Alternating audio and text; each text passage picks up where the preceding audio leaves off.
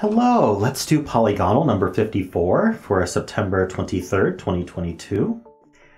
And today we have three a letter repeated three times, I should say. And it looks like there's no other repeated letter. So E is certainly the go-to for what could repeat there. So, wow, and nothing else repeats. We could of course end in S if we wanted to.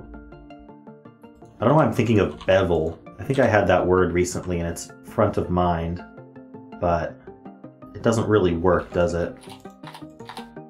We have an eight letter word here. It does, certainly doesn't have to end in S. What comes between these two E's, if it is E at all? I'm thinking like RN. I don't know how to think about this one. I might just have to do a guess here. I think there's just not enough info for me to just pull out a word that works.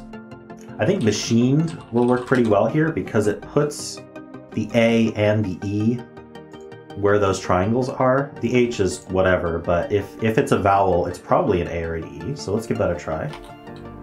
Not an A. It is an E, and it ends in ED. That's actually really good to know.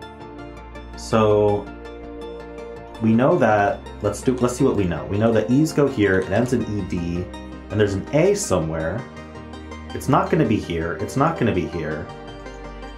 So I think it's EA here, making an E sound, obviously. So, relieved? That, that's IE, isn't it? Okay, not relieved.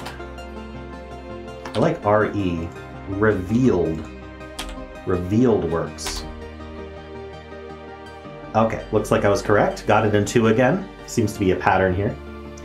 So how'd you do today? And of course, if you enjoyed this content, then please subscribe.